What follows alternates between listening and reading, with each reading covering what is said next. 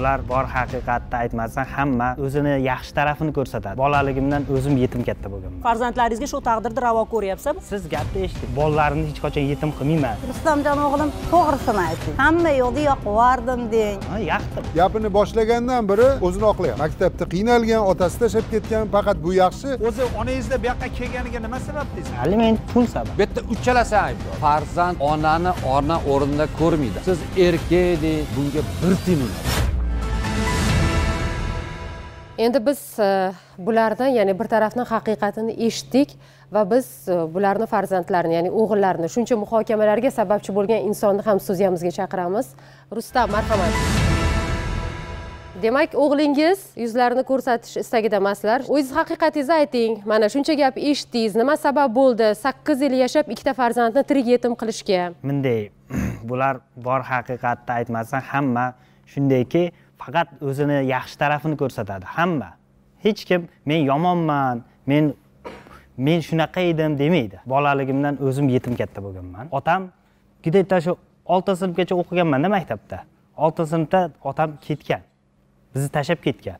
O'sha paytda paxtalarga chopiqlarga chiqib kechalari juvozlarda ishlab o'n ikki o'n uch o'n to'rt yoshli bola bo'lganmanda endi aniq esimda farzandlaringizga shu taqdirni ravo ko'ryapsiz boshingizdan o'tgan bo'lsa ham eshitaylik mayli Siz gapni eshiting. eshitaylik eshitaylik yoshligimdan katta bo'lganman shu o'sha paytlarda aytardim hech qachon men agar katta bo'lsam bolalarimni hech qachon yetim qilmayman bular menga o'xshab qiynalmasin deyardim U- maktabda o'qimadim shunday katta bo'ldim keyin bu qizni yaxshi ko'rib uylandim sakkiz yil davomida yashadim endi ishdan charchab kelgan paytingiz endi dasturxonga o'tirib ovqatlanaman desangiz asab asabgidek ikkinchi ayolingiz hozir.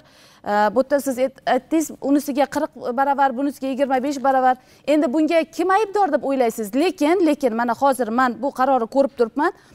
Bulardan e, gulnigor bilan ekanliklarini o'rtanglardagi umumiy ikki nafar farzandlaringizga nisbatan siz sakkizdan ikki qism baravarda aliment miqdori to'lar ekansiz ya'ni ikkita bolaga agar sakkiz yuz ming so'm oyligingiz o'rtacha oylik ish haqida belgilangan bo'lsa hozir mana bu siz taqdim qilgan kvitansiyalardagi har oy to'lagan ikki yuz ming so'm pulingiz ikkita bolaga to'laganmisiz shunda? Va siz hozir shu ikki yuz ming so'm ikkita bolaga oyiga ikki yuz ming so'm to'lagan pulingizni shunaqa minnat Siz- qilyapsizmi? siz- siz- onangizni butun studiyaga mana bu- Siz noto'g'ri man hozir bu holani ham tushunyapman balki bular qaynonadirlar ikkita uchta kelinlari bordir.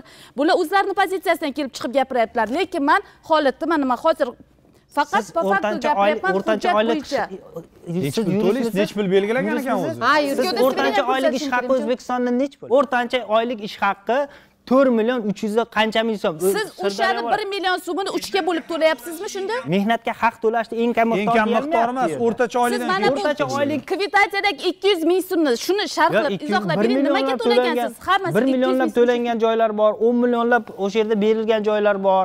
Qarang vijdon bormi? Vijdon. Bolalaringizni sakkizdan ikki qism baravar siz nechi pul hozir to'layapsiz to'xtanglar o'rtalar akajonlar tog'ajonlar bir daqiqa meni bitta narsa to'xtanglar mana to'xtab turing bitta narsani tushunaylik o'rtoqlar bularda ham yana ikkita farzand bor. Hozir bir tarafga bosim qilib ikkinchi tarafga olib ber onangga ber. Ularni huquqlari buzilmagan ularga ham aliment chiqarilgan. turing. u ikkita hozir man gapira olay o'rtoqlar gapira olay ikkita farzandi narigi ikkita farzandi hali taqdiri bo'yicha hech kim gapirmayapti suhrob mana to'g'risini aytamiz xudo taqdir ko'rsa shunaqa vaziyatga siz bilan man tushib qolsak tinch uxla olamizmi bitta savol Yo, biz erkak sifatida uxla olamizmi To'g'ri aytib turibsiz, Uxlamaymiz. uxlamaymiz. bu yigit faqat o'zini oqlash uchun raqamlar boshqalarni keltiryotibdi. Man aytyapman mayli qonun hammasini chetga suraylikda erkak sifatida. Biza farzandimizga mas'ulmizmi bolalarni qonni to'yyaptimikin degan savolni beramizmi? Mana shu savolni siz nima deysiz? Shu o'zi o'ylaganmisiz? Hech o'ylaganman boshqaga emas hozir ham pul berishdan bo'yin tovlamayman qochmayman beraman xudo xohlasa kelajakda. Yaxshi bo'lib ketsam shu bolalarga bitta bitta uy ham olib beraman. O'zi hozir nechi pul tilxatda oylik topib qo'limda tilxat turibdi endi to'g'ri bu tilxat hech qanaqa notariusda tasdiqlanmagan shunchaki yozib bergansiz va qo'shnilar buni qo'l qo'yib xuddiki tasdiqlagandek bo'lgan. Mana shu yerda bolalaringizni ta'minlashingiz mana ta'minotidan- bolalaringizni ta'minlashingiz va hattoki uy olib berishingiz haqida yozgansiz va erkak bo'lib so'zimda turaman degan so'zlarni ham qayta qayta bot bot yozibsiz. Endi man sizga beradigan savolim mana sudda ajrashuvga borganingizda bu farzandlar maniki emas. Bu farzandlar manga kerak emas degan gaplarni gapirganmisiz yo'qmisiz? Farzandlar meniki u men unaqa bu tuhmat. Chunki bular bunaqa demagansiz ishga joylashaman traktorlarni svarkalab berishga onam boradi. Sen sen nimaga buni ishlatyapsan? Buni ishlasang oylik ish haqini o'ttiz uch foizdan chiqadi o'ttiz uch foizdan. Ishdan haydamasang prokuraturaga yozaman ustingdan yozaman dedi. onaxon ishlamasa qayerdan pul beradi? Yo'q o'g'lingiz ish joyini men Nima bilm- qilsin, ayting, Yo'q, mana mahalla raisi- mahalla raisimiz meni Men o'zi ishga olmoqchi edi mahallaga, qorovullikka. borib gapirmaganman. A, gapirmaganman deyaptilar zulm o'tkazib ishlayotgan joyingdan haydab yuboraman portalga chiqaman boshqaga chiqaman deb yo'q yo'q yo'q. Kelinglar, hozir mana- seni ish joyingni men kelib uch yildan beri mendan xabar olmaydi. Yashash joyini bilmayman. Qanaqa qilib men uni ishdan joyiga hozir siz ehtiyot bo'ling qarang uka. Uka siz mana qarang uka ehtiyot bo'ling. Onaxon u narsa bo'lmadi deb bo'lmagan bo'lsa yaxshisi aytmang u gap hech qachon biror yerga agar men biror yerga borib shikoyat bu yerdan tashqari biror yerga borib shikoyat qilgan bo'lsam rustam senga bergan oq sutim harom bo'lsin. Hozir mana xolajon dushanba kuni bularni mutaxassisligi bo'yicha ishga joylasak hech qanday qarshiligingiz yo'qmi? Doimiy ishga joylashtirsak? Shu vaqtgacha bo'lmaganmi? Bundan keyin ham ishlash joyiga qarshiligim yo'q. Men qarzga kirmaganman ham birovdan qarzim ham yo'q edi. Shu kungacha shu kungacha. Hozir yigirma besh milliondan oshiq qarzim bor. O'rtoqlarim alimentga berib turib o'tgan safar bir yuz yigirma ikkinchi modda bilan jinoiy ish qo'zg'atib olib borib havasga tiqib qo'ygan paytda bu ikki ikki yaqin o'rtog'im besh million so'mdan o'n million so'm pul berib meni qamoqdan chiqarib olish vaqti kelsa borku mana shu uydan chiqib ketganimda ko'chada yotib birovlar molxonasida somonxonalarda yotib u yegani pul cho'ntagimda pulim yo'q edi uydan chiqib ketganim quruq roltinni o'zini g'ajib yeb yurganman. G'ajib yeb yurganman. Shuning uchun shu onam sababchi bo'lgan chunki uydagi narsalarni o'g'irlab sotib ko'chaga chiqib ketganimdan keyin uysiz qolganman men. Shuncha. Men o'sha qiz bilan tanishib qiz bolaga uylandim to'g'ri. Keyin keyin boshqa boshqa savxozga bulardan iltimos meni shulardan qutqaringlar. Yarim so'rayman meni qutqaringlar shulardan. Beraman alimentini ham beraman hammasini beraman. O'g'il bolaman qilgan ishimni qildim deyman qilmagan ishimni qilmadim deyman. Bu ayol bilan bir kun yashaganimdan ko'ra ana yerda bir yil qamoqda o'tiraman. Otam ketib qolishiga uyda onam onam har kuni janjal qilardi otam bilan to'g'ri otam ko'p ichardi. Lekin alkash bo'lsa ham qimorvoz bo'lsa ham erni er qiladigan ham qora yer qiladigan ham xotin. Chunki yaxshi xotinni hech qaysi er tashlab ketmaydi. Ko'chada katta bo'lganman ko'chani bolasiman chunki ko'chada mana aya nonga pul olib keldim dadam ketganda mana unga men o'ylardim o'sha payt o'ylardim. Dadam yomon boshqa ayolni ayolni ketgan bizni tashlab dadam yomon deb o'ylardim. Shu kungacha chunki o'zimni boshimga tushmaguncha odam o'zini boshi devor borib tegmaguncha hech qachon bilmaydi. Mana men katta bo'lib o'zimni boshimga tushib onam meni boshimga ikki kunlarini solganlarini bilib men bildim otamda ayb yo'qligini. Chunki odamni mana shu yerga kelgandan keyin majbur erkak kishi majbur bo'lib qolgandan keyin har narsaga tayyor bo'lar hozir man bir narsaga hayronman sizlar ekspertmisizlar yo sizlar kimsizlar? Man shunga tushunmayapman. Muomalanglarga man tushunmayapman hozir. Biza yerga uradigan odam emas biza. Biza bularni наоборот olib chiqishimiz kerak. Uni o'rniga tiqyapmiz hammamiz san aybdor san aybdor san aybdor. Bu yerda uchalasi aybdor. Qo'yib beraman desa birinchi ayb nimadan bo'lgan? Bolada bugungi kunda yoshligidagi psixologik travma. Ya'ni ota onani orasida bo'lgan munosabatda ota ichganligi jim turinglar endi. Ota ichib kelganligi deyapti misol qimorvoz bo'lgan deyapti ona janjal qilgan deyapti.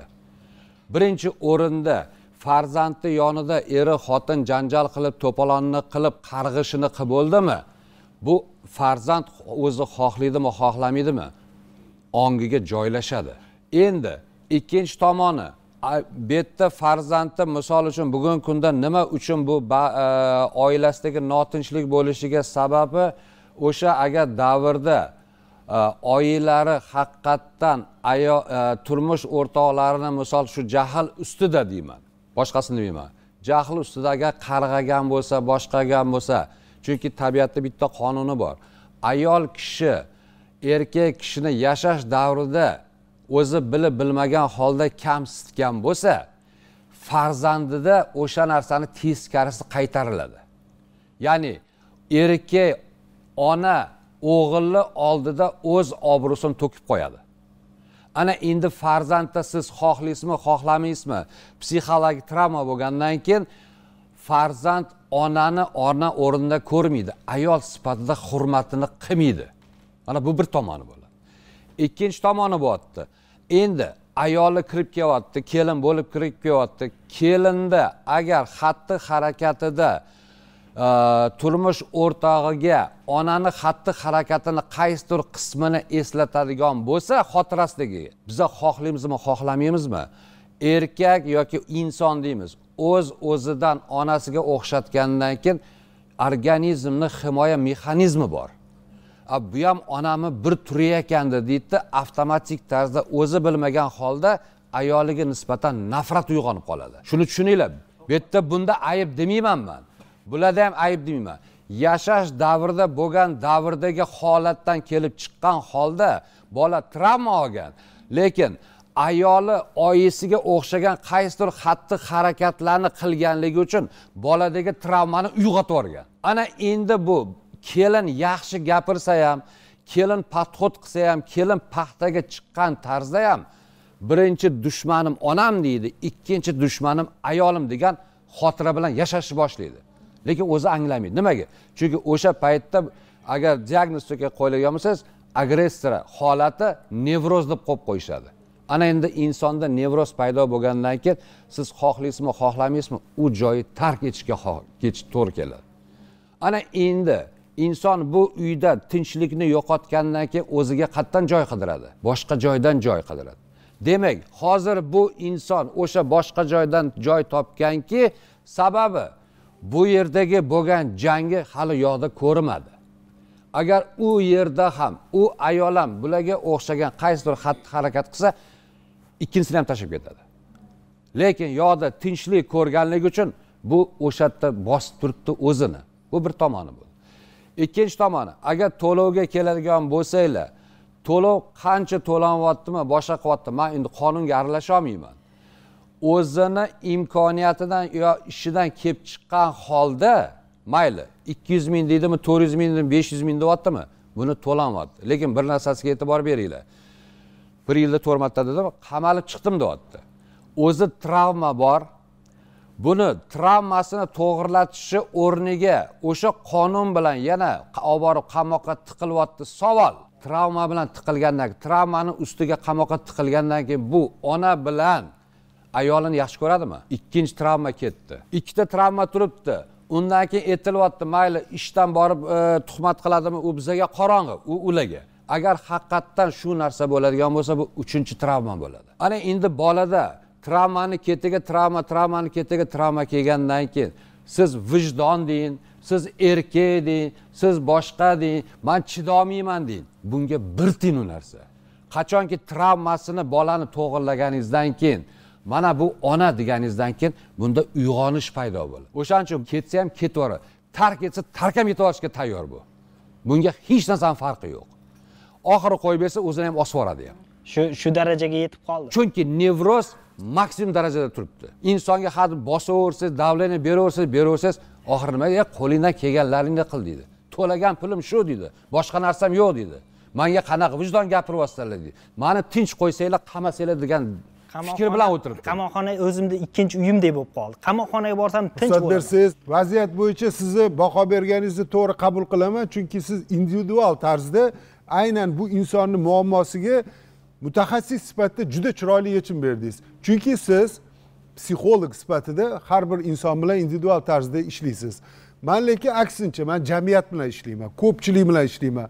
Man bu yerda iroda insonni mas'uliyati erkaklik vazifalarini gapirganimda jamiyatni tarbiyalash haqida gapiryapman. Mana bu yechim emas. Hozir muammo nimada? Aliment alimentga keldingizmi? Nimaga keldingiz? Nima xohlaysiz mendan? Mendan nima xohlaysiz? Mana sizga aniq savol. Nima xohlaysiz? Bolalaringni bolalaringni ta'minotini qilib qo'y. Bolalar ta'minotini men qilyapman. bilan imkon darajamda qo'limdan ikki yuz mingni necha oyda chiqarding qanaqa necha oy har oy mana voy uni dokument inson inson har oy deb endi bu yerda uyat ikki yuz ming ta'minotni bitga olib hozir. chiqishni bo'lmancha uyat bu. Bu yerda siz onangizni hozir nafrat bilan gapiryapsiz bir ikki iborangizni eshitdim qaynona kelin deyapsiz. Hatto ona deyishga or qilyapsiz. Lekin biling bu nima bo'lganda ham bu kishi ona. Onani o'zini hurmati men bular menga teginmasa bo'ldi demang onajon biling bu farzand sizni qalbingizni bir chechagi to'qqiz oy ko'targansiz. Biling bundan norizo bo'lsangiz bu ikki dunyosi kuyadi buni. Agar onalik mehridan zig'ircha qolgan bo'lsa siz bu yigitni kechiring. Kechiring bu. Bu yigit bu bilan uni ikkita boyagi farzandini ta'minoti ta'minoti buni bo'ynidan soqit bo'lib qolmaydi. Buni majburiy idoraga berib olmanglar. O'zlaringiz ixtiyoriy ravishda olib kelib bersin baqadir hol topganicha. Bu ham yashirmasin o'sha pulni. Sizda bu onani boqishlik sizni bo'yningizdagi mas'uliyat. Mayli otangiz nima qilgandir tashlagandir boshqa bo'lgandir lekin qalbingizda sizni qalbingizdan chiqqanku bu bola to'g'rimi yo'qmi ho'p ota allohga inonsangiz farzandu arjumandni siz kechiring. Bu yerda hech qanaqa muammo yo'q ekan o'zi aslida. Bir biringizni kechirsangiz bo'ldi xolos boshqa narsa yo'q bu yerda. Men ona sifatida hozir men bunday qilganim bilan men bitta barmog'imni tishlasam butun tanam og'riydi. Bu farzandim. Bulardan qolgan ikkita go'dagam meni farzandim. Menga hammadan ko'ra menga qiyinroq bo'lyapti hozir. Mana shu darajaga shu yerga yetib kelgan menga qiyinroq. Men bolamni olloh kechirimli bo'lganda men bandaman. Nimaga kechirmayman? Kesin edi. Ona deb kechirim so'rasin edi Mana hozir to'xtang. Men opa, keling. degan bilan xohlasangiz yuzingizni ko'rsatmaymiz. Ayangizni ayingizni onajoningiz bitta hammani oldida quchoqlang shuncha gap so'zlar shuncha gap so'zlar yurakdan chiqaribmikan mayli o'zim- yo'q yo'q yo'q bitta taklif bu majburlashmas farzandimdan. taklif. Mana qumrxon opa qumrxon opa hozir o'g'lingiz hammani oldida kelib kechirim so'rasalar kechirasizmi? O'zim borib quchoqladim. Keling, hozir quchoqlang, hozir quchoqlang. men farzandimga yalinganimda ertaga an yerga chiqib kerak bo'lsa menga yalinding tiz cho'kding o'lib mayli o'sha gaplar o'sha gaplar onalik mehrini oldida nima bo'pti? Bu oddiy quruq gapku. Har bir ayol baxtli bo'lishga loyiq. Har bir farzand bola yoshligini bolaligini baxtli o'tkazishga loyiq. Xuddi shunaqa jamiyatda unutilgan bir tushuncha bor. Mana balkim bular yetarli erkaklarni baxtliligi to'g'risida hech kim gapirmaydi. E, o'zi yurtdiyu o'zi baxtliyu deydi choyxonaga boradi boshqa qiladi deydi. Aslida yuragini qarasak ko'p oilalarda eng baxtsiz odam erkak. Hozirgi mana shu yerdagi majburiyatning yuz foizi erkakni zimmasiga yuklatildi yuz foizi erkakni zimmasiga. Majburiyatimni bajardim deb hujjat ko'rsatdi ham majburiyatingga yana qo'shimcha majburiyat yukladik deyildi. Ustiga qo'shib qamaymiz deyildi. Misol tariqasida aytamanda jamiyatda erkaklarga ham oson emas hurmatli ayollar. Siz ona bo'lasizmi? Siz boshqa ayollar bo'lasizmi? Siz kelin bo'lasizmi? Erkaklar hozirgi paytda pul topish ba'zi mana odamlarga osondir. Ba'zi odamlarga juda qiyin. Oson emas erkakni o'zini ichidagini o'zi biladi. Hamma erkak unaqa bo'lishi kerak erkak bunaqa bo'lishi kerak. Oson emas lekin bitta narsani tushuning uka bu narsa biz erkaklarga baribir ham asos bera olmaydi. Avazbek siz qanday yordam bera olasiz? Rustam eshiting sizga muhim gaplarni hozir avazbek aytadilar. Kim qanday yordam ko'rsata oladi deganda men shu o'rinda aytib o'tmoqchiman. Bandlik tomonidan sizni doimiy ish o'rinlariga joylashtirishga yordam beraman. Ishlayman. Hech qanday masala bo'lmaydi. Agar kasbga qayta o'qiyman desangiz bizni vazirlik tasarrufida kasbga qayta o'qitish- o'qitadigan mana ishga marhamat mana markazimiz bor. Uchta tasarrufimizda kasb o'qitish kollejlari bor o'sha yerda uch oylik kurslarda o'qitib sertifikatga ega qilib o'zingiz bitta kasb egasi bo'lasiz. Boya yuqorida ham aytib o'tdingiz hech qanday ma'lumotga ega emasman dedingiz. Oltinchi sinfdan keyin o'qimayman o'qimaganman dedingiz. Qo'lingizda ertaga- ertaga sertifikatingiz bo'ladi. Biron joyda doimiy sizni ishingiz bo'ladi. O'sha tomondan men yordam bera olaman. Oramizdagi odamlar ko'rsatuvida aytmoqchi bo'lganlarimiz shulardan iborat edi. Sevimlida ko'rishguncha salomat bo'ling